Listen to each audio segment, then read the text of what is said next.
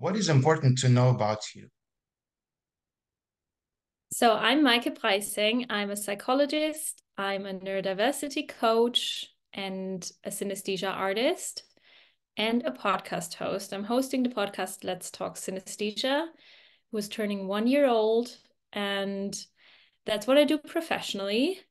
Uh, besides that, I am German and I'm currently based between Austria and the UK. Uh, and that's all you need to know.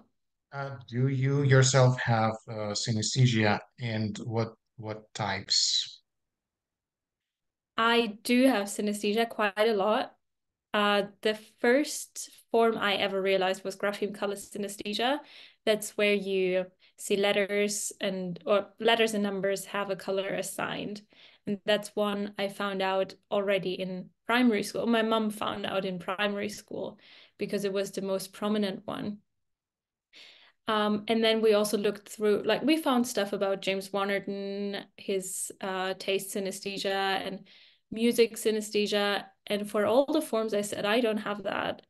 And I think that is because I'm a projector for the grapheme color synesthesia, meaning if I look at a paper, the color is projected on the paper. And I think that was my my reference. That's how intense or that's how projecting it has to be to be synesthesia. But then 20 years later, I realized that there are so many forms that when I hear music in my mind's eye, I see colors and shapes and forms, and they're very vivid, very consistent. Um, it's the same for other sensations like smell or touch and pain. So a lot of sensation to uh, visuals in all forms. And then the other form is ticker tape synesthesia. Uh, when you see subtitles to what you think or say and what other people say. So when I hear someone speak in my mind's eye, I have like closed captions of what they say. Um, and then because of the grapheme color synesthesia, the words are colorful. So there's a lot going on. I probably have more forms, but that's that's my answer. What extent did it inspire your choice of career? So you've got masters in psychology and you once decided to follow and to study synesthesia. What was the hierarchy here of motivations? So I only found out about the other forms and the relevance for synesthesia for my mental health later in my life. So when I went into university, I moved to Austria in 2014 to study psychology and I don't remember exactly what my I wanted to understand the brain. I I remember that. And at this point I already had like a school exam or presentation I made about synesthesia but I didn't know much about myself. And what I knew that I was that I had mental health problems, but they never had a name. Um, there was one episode of depression where I was like, okay, maybe I'm too struggling too much to be a therapist at this point. So I thought I'd go into research or to go into sports psychology. Uh, once I recovered from the depression, I uh, applied for a job in Innsbruck and I absolutely loved it. It was social care with uh, mainly schizophrenic patients and it was amazing. And then i realized this is what i love. This is what i what i'm good at working with people having sessions with clients one-on-one and having sessions in groups and working in a team. That's what i love. But synesthesia was still not a thing in my career. I was just myself, my struggling self, and professionally, I was just good at what I was doing. And then I moved to the UK, to Edinburgh, which is the, the capital of Scotland. Um, and I was on educational leave. It's where you get paid for doing courses, which was amazing because that was where all the inspiration finally had more space and I had a moment to breathe so I I started doing synesthesia art in the job already. But then once I was on educational leave, I had so much inspiration and room to talk about it. And I was in a new country. So I did more art and my Instagram community grew and we had meetups. And from there, I thought it needs a podcast to share all those stories. And from the podcast, I then realized, well, people actually struggle. And not only do they struggle with their synesthesia, it might be the answer to my struggles. And then I came across neurodiversity, which we never learned in uni. Um, I understood that neurodivergent traits are very under researched in women, especially, and synesthesia as well. So that's what I focus on now. Adults who are neurodivergent, maybe they have ADHD or autistic and have synesthesia on top. And that's pretty much my experience. So it's very easy to, to help others. And now you have this uh, multi-volume podcast, which I was also part of. Thank you very much for inviting me. And lots of other interesting people uh, with synesthesia or around synesthesia, researchers, artists. Um, what attracted you to this aspect of synesthesia? Because probably there are many, well, including science or you know social activism, etc. So, how did you come to this idea that this voice is needed? That's a good question. I think I had a lot of inspiration to to do it and I saw that there was especially there were young people lacking I hope I can say that in the synesthesia associations are doing such an amazing job um, but of course we have new media we have podcasts we have ways to connect people I didn't really see the young generation being involved yet. And I wanted to be involved so bad and thought I can add value to the community. I, I mean, I didn't, I didn't know yet, but I saw the potential. Um, and then the podcast was just an amazing thing to connect all those stories, connect this, the research side, connect the people that were involved in synesthesia associations for decades already and people who because it's so fresh synesthesia research you can still interview the people that were there at the very beginning kind of um, and i didn't want to miss that chance. And then of course just hearing other people speak about their experience is so valuable because once someone describes what they feel or see you can so easily question if that is what you do or not at all. And then you get a better feeling for what is actually common, what is unique to you, what is unique to synesthesia. Another one, or just half of that. Yeah. Um, what do you think the general public on the street, as we see uh, this kind of mass of individualities, what can they learn or what can they be taught through exposing to facts about synesthesia? Okay, yeah, that's a really good question. I mean, as soon as we learn that perception is a thing, as soon as we learn that we perceive the world very, very differently, we get so much more, compassion for other people. Once we learn that it's actually the reality we think is reality is still very unique to us. Of course, there are components that are probably most likely true for all of us because we can agree on them. There's so much in our brain that we can't, um, that we never talk about.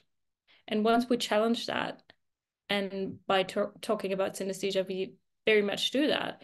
I think it all it just makes us understand better how different we all are and how normal and okay that is without putting any pathology in the conversation. Just the fact that some people have hyperphantasia and some have aphantasia. I imagine the people that give us hate online, for example, about talking about synesthesia might be more on the aphantasia side of things because when you can't imagine a face or an elephant or a star, of course, it's very hard to believe that someone, when they have pain, see colors and moving shapes. And then they're very, very skeptical. But being skeptical, skeptical about what I'm telling them might also just teach them something about their own perception and their their own mental imagery, their own yeah, just perception of the world, their brain. Along the same the same line, um, because you're trying to move synesthesia closer to public, to to people, uh, and this new event that will take place in Innsbruck. That yeah, it's it's Innsbruck, Austria.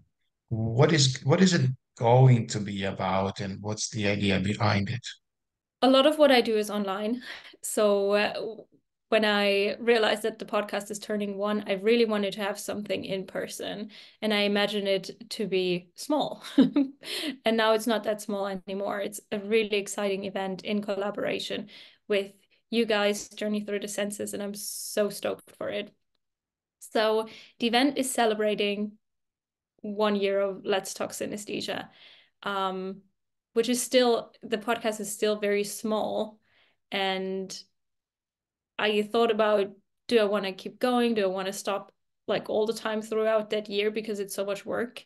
But I do know that there's so many people out there that don't know about their own synesthesia. And of course, those are always at the heart. I spoke about the impact on people who don't have synesthesia before. But of course, the main reason is to help people find out about their synesthesia because it helped me so much and it helps my clients and people in the community so much once they understood the impact of the extra information the brain produces and how fatigued they are, how it's entangled, how it holds so much knowledge as well. If you look at emotion to color synesthesia, for example, the emotions are the colors are telling you something about yourself and that's such valuable information that's often not even looked at once so to go back to your question the event will be a place where hopefully a lot of random people from all sorts of background get exposed to neurodiversity and we're going to do that by screening the play the possibility of color by Pete Carruthers, who's a English playwright and actor. We're going to show that in this cozy venue at the local cinema. They have one room that is full of cozy armchairs. It's so nice. Um, and then we're going to have a panel afterwards, which will be me, Pete Carruthers, the actor who wrote the play, and James Wannerton, president of Journey Through the Senses and the UK Synesthesia Association. Um, yeah, we're gonna have fun goodie bags as well for the people attending. And yeah, we're just spreading the news about perception is actually very interesting to think about. And it's the base of everything we do. There's a partner, uh, Pete. And Pete is quite new to the community. How come that you uh, first met and how did it click? I mean, how did this collaboration start? So I met Pete first. He sent me a message after I posted the first couple of episodes of the podcast in one of the synesthesia groups. And then he sent me a message saying, I wrote this play. Here's a secret link to watch it. I would love to hear your opinion. Um, so I watched it and then we had a video call about it and decided to I decided to invite him to the podcast to to tell us about it, which was a bit tricky because people it's not public. So I couldn't just tell people watch it and then we're gonna record an analysis with the playwright. So I had a friend um, read out the summary of the play at the beginning of the episode, and then Pete and I had a conversation about it.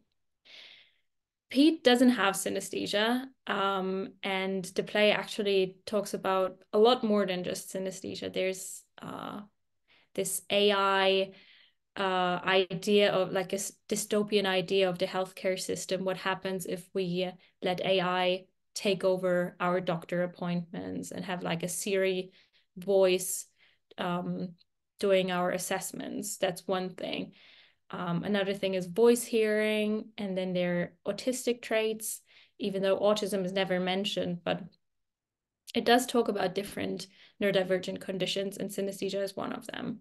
And I found that very clever. I think it's an amazing play, and I just like Pete personally a lot. So we just got along very well from the beginning. Uh, the other thing I wanted to say, oh yeah, the other reason why I asked him if we could screen a play is even though I'm doing a lot like publicly, I'm especially on the podcast and on my Instagram, I like you see my face in face talking all the time, but I I'm actually quite introverted and anxious I don't like public speaking. And the idea of inviting people to an event where I'm the center of the thing, like a live podcast where I just sit there, I know I wouldn't do that well. Um, and it just felt wrong. I wanted neurodiversity to be in the center of the event and I want to be there and I want to organize it, but I don't want 40 people to look at me for an hour. Um, so I wanted to have something really special in the center of the event, which is uh, why I asked Pete if we could show it. How do you yourself relate to the uh, message of the play? Uh, how does it appeal to you? So the synesthesia part for sure. Um, the autistic traits as well. I'm autistic myself, and even though the traits aren't exactly how I experience the world, um, I just like the representation of our community, of course. The voice hearing aspect, probably more professionally because I'm not a voice hearer myself. But I, I worked with so many people who have acoustic hallucinations. They hear voices, and even a psychology degree, you know, we don't talk about those fun things like neurodiversity and just the range of perception. We talk about clinical diagnoses, and of course, it's extremely important to understand this voice hearing. Delusion, hallucinations can be an incredibly hard experience. There's no doubt. And that's why we put so much time and money into researching um, medication and therapy for people who are, for example, schizophrenic. But then there's the other side of just people hearing voices and they're their best friends. They discuss with them. They are good company. They're just there and they don't have to be medicated. They don't have to, um, yeah, they don't have to do anything about it. It's just the way they go about life. Like I hear music and see colors, and they hear voices when they I don't know, have an inner monologue about a topic they want to figure out. And that's something that is not very, uh, it's very stigmatized still. Hearing voices, and Hollywood did a big part in this. Like Hollywood representation of voice hearing is always scary. It's, uh, yeah, scary. I think is the best word. People, there's a lot of othering um, and I think that's one aspect that the play does really, really well. It's bringing us together by just acknowledging that we all have traits in different dimensions. We have different profiles of the way we perceive the world, how we feel, how we go about life. And it's not so much about you have a diagnosis, you are in the other group now, you're scary. Uh, but other people who have maybe just a bit of anxiety, just a bit of this, you're still with us. You're safe, you're good, you're normal. Um, yeah, so it discusses a lot about that. What is normal and who gets to decide? That's the big question of the play. And as someone who's working in clinical psychology, that's something I, of course, think about a lot. Um, yeah, because we have loads of categories all the time, and they're helpful because they give people access to the help they need, the medication they need, the support they need, the language they need to understand it, but it also puts people in boxes and that just needs to be questioned. Yeah, that, that's interesting. So well, my, my, my own question would be, do we need this emphasized diversity, and at what point should we converge and say, no, still there is something kind of uh, common about us? At some turn um, of your life, you decided to offer um, counseling, right? So you, you're a, a, Coaching. coach. Yeah, it's Yeah, you're psychological coaching. Yeah. Yes. And this psychological coaching that you offer uh, has got a wide range of um, specializations or emphasis uh, or okay, focus, uh, focal points. Uh, what do they come to you for?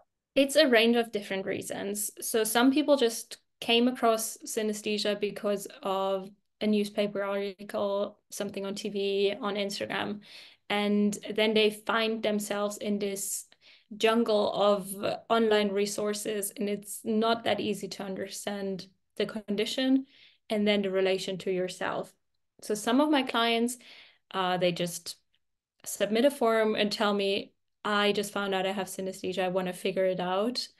Can can I just have a couple sessions? So we have like three to five sessions, maybe where we just talk about what there's a lot of coaching in in terms of I give them the terminology and I uh, explain them what they experience and how normal it is. Um, um, and then uh, they of course have questions and they look back and I ask them challenging questions to understand where are the lines uh, of their synesthesia.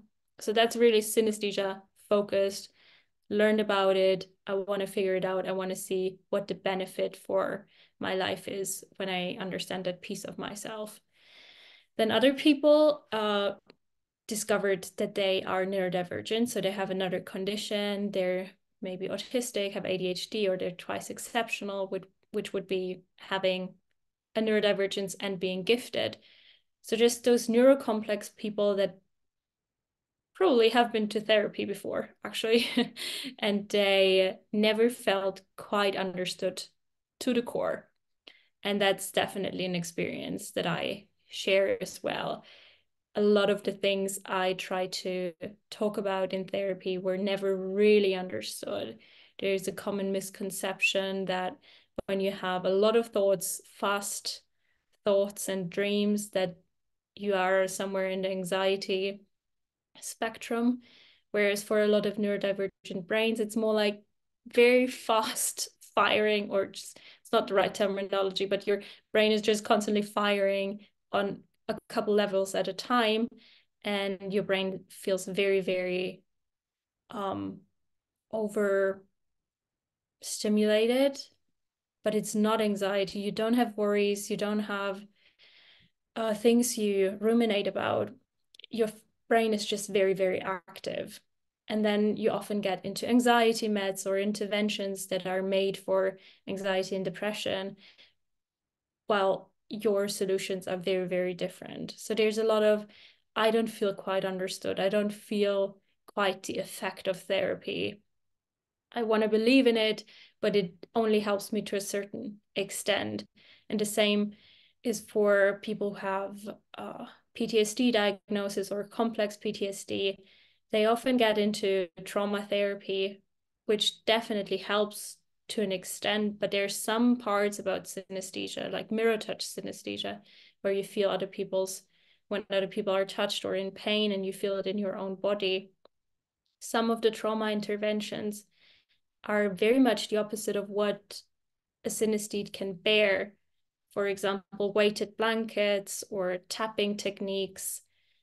They help a good majority of trauma patients, but then for a synesthete or a neurodivergent person, you leave even more stressed, even more overstimulated. Some told me that they felt like they they failed therapy. They're yeah they, but at the end of the day, it's like the person who doesn't know about neurodiversity just doesn't speak your language.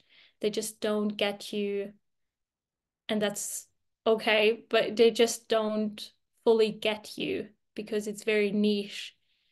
And that's a big part of the clients I see. They just finally want to feel like someone is speaking their language and understands them and it's also about just you know a lot of my clients just come with general topics like family dynamics or business goals or big emotions or just things you would talk to a psychologist about. But then there's this aspect of they tell me what the emotion look looks like. They tell me about any other synesthetic connection and i can pick up on it and bring it back in another session. And that's what makes coaching for synesthete specifically so valuable because it has it sees all of you. Well that's a big statement. It sees more of you. You seem to be talking about something that you've obviously not seen obviously have uh, gone through over overcame or still integrating so something is what is significant and acute to you. And suppose, I know, I always play with my interviewee this mind game. Suppose you could meet yourself as a child with all the knowledge that you have, and uh, you have a kind of a playful session with yourself as a child, or a series of sessions, doesn't matter. it Just the idea is important. So, what would you do? What would you say? How could you direct yourself with all the knowledge that you've already acquired about synesthesia and neurodiversity? Oh, I like that question. Um, if I would meet my younger self in a therapy setting or in a coaching setting, I think I would have a couple tools there and like noise canceling headphones, for example, for kids that now exist, which is amazing. And even though I didn't think I was overstimulated, I think I would just offer a couple um, experiments. I think we would just go on the street and I let the kid turn it on and off and just be like, isn't that isn't that fun? What a difference it makes. And just remember when you're at Legoland next time, which was an awful experience. Um, you can turn them on and off uh, and just see if you need them and look how colorful they are and maybe uh, they're fun for you. And I probably, as a kid, would have said, no, they look stupid. I'm not going to do that. Other people don't do that.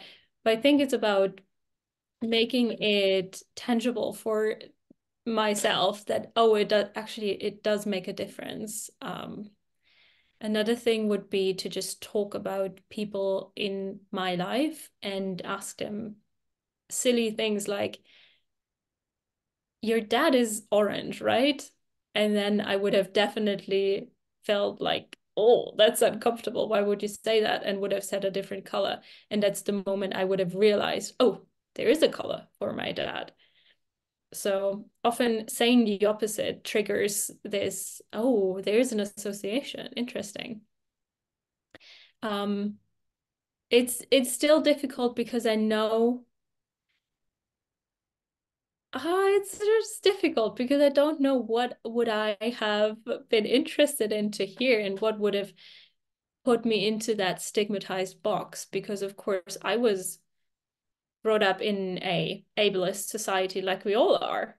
And i had my ableist assumptions and you don't want to be different. You want to be the cool kid. You want to be interesting. You want to be fun. And so it would have been probably hard but maybe i would have just gave myself a couple informations about did you know then when you're when things are too loud when you're at a pool it can give you stomach cramps or it can make your knees hurt because that's something that took me 30 years to realize that connections can be so strange. And when nobody ever mentions it you never even think it's possible. So you go to all the doctors that look at your stomach that look at your knees and you never make the assumption or the conclusion that it could actually be the sound of a loud pool.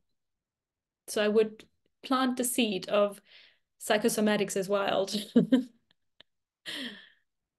How do you think uh, kids should be taught about synesthesia and kids with synesthesia? I have the dream of hosting workshops at schools. I think that would be really fun. I would like to just have index cards where you have the different senses and then the different uh, concurrents. So a concurrent is the neurological reaction of your brain to a stimulus. And then I would just like to play around with it and be like, what if we connect the tongue and a sound? What would that mean? So we have the stimulus, sound, and we have the sense, uh, which is taste, tongue. So what could happen if those are connected? Um, and then someone would maybe say that some people can maybe hear a sound and taste it. Um, or the other way around, someone could, what is it, taste something and connect a sound to the taste, which I also met someone before. And that's very interesting because it's not what I experienced.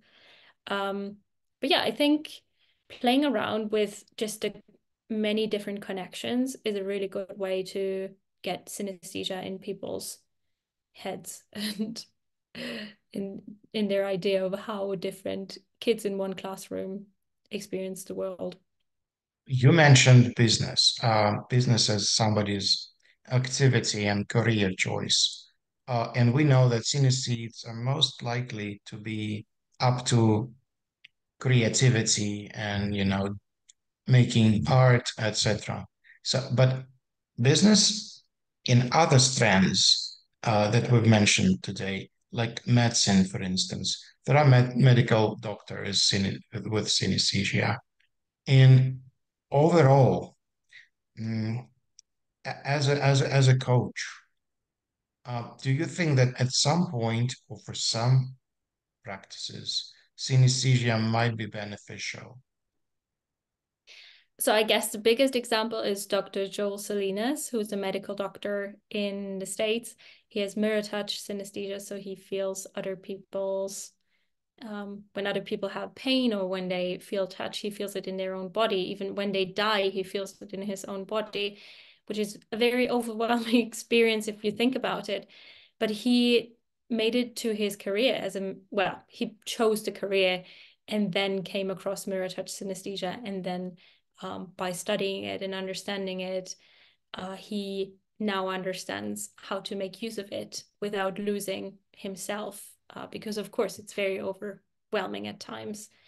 Um, but yeah, he can treat a patient, figure out what they are going through, ask the right questions because he has this information and their body's feedback in their own body that gives him extra uh, ideas, which someone by looking just at uh, someone's documents and the patient might not notice. So I think that's a huge benefit for the patients at least. That's amazing.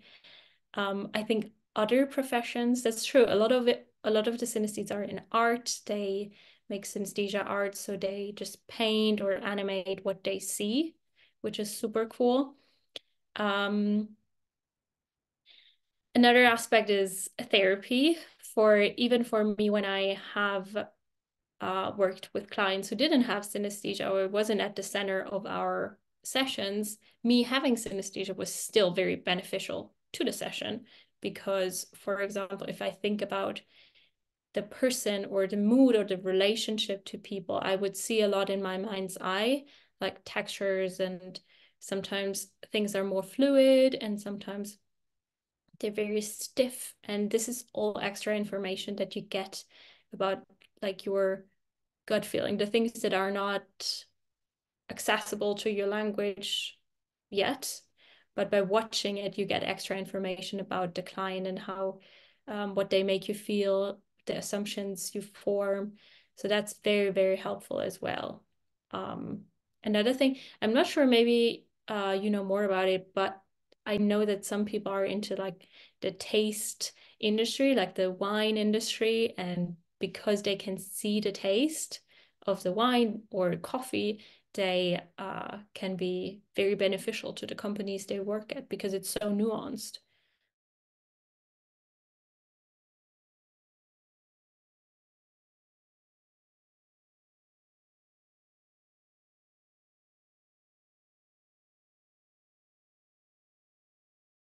Why should people come and see what's going to happen there in the uh, cinema theater? Uh, and why do you invite people there? Oh, everybody should come. We have limited capacity, but I would like everybody to come.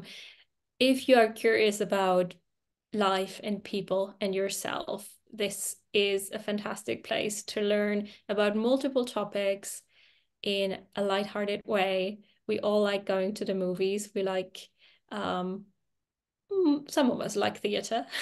I certainly really like it. Um, it will just be a place to learn about new topics. And it's equally cool if you're a voice hearer and you see yourself represented in a play. And it's also really cool if you never thought about it and maybe you work in psychiatry for the last 20 years and you were still under the assumption that voice hearing is always something to be treated. There is something to learn for everybody in this event. And if it's not to play, it will definitely be the conversations in the lobby and the panel and the dinner after.